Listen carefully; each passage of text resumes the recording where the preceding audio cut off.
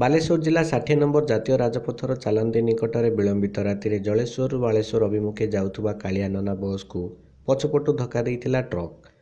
ବହୁ ଯାତ୍ରୀ ଗୁରୁତର। ସୂଚନା ଅନୁସାରେ ରାତି ପ୍ରାୟ ବାର ଘଣ୍ଟା ପନ୍ଦର ମିନିଟ୍ ସମୟରେ କାଳିଆ ନନା ବସ୍ ରାଜପଥ ଉପରେ ଯାଉଥିବା ସମୟରେ କୌଣସି ଯାନ୍ତ୍ରିକ ତ୍ରୁଟି ଥିବା ଜାଣି ଡ୍ରାଇଭର ଗାଡ଼ି ଛିଡ଼ା କରାଇ ଦେଖୁଥିବା ସମୟରେ ପଛପଟୁ ଏକ ଆନ୍ଦ୍ରା ଟ୍ରକ୍ ଧକ୍କା ଦେଇଥିଲା।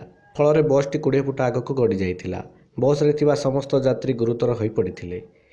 ତେବେ ସେଠାରେ କାର୍ଯ୍ୟରତ ଢାବା ମାଲିକ ଓ କର୍ମଚାରୀଙ୍କ ସହାୟତାରେ ପୋଲିସ ଓ ରାଜପଥ କର୍ତ୍ତୃପକ୍ଷ ପହଞ୍ଚି ଆହତମାନଙ୍କୁ ଜଳେଶ୍ୱର ଜି କେ ଭଟ୍ଟ ହସ୍ପିଟାଲକୁ ନେଇଯାଇଥିଲେ। ସକାଳ ସୁଦ୍ଧା ସମସ୍ତେ ବସ୍ ଯାତ୍ରୀ ଘରକୁ ଫେରିଯାଇଥିବା ବେଳେ ଟ୍ରକ୍ ଡ୍ରାଇଭର ଗୁରୁତର ଥିବା ଜଣାପଡ଼ିଛି। ବାଲେଶ୍ୱର ଜିଲ୍ଲା ଜଳେଶ୍ୱରରୁ ପ୍ରଫୁଲ୍ଲ ପଟ୍ଟନାୟକଙ୍କ ରିପୋର୍ଟ। ଉତ୍କଳ ଖବର।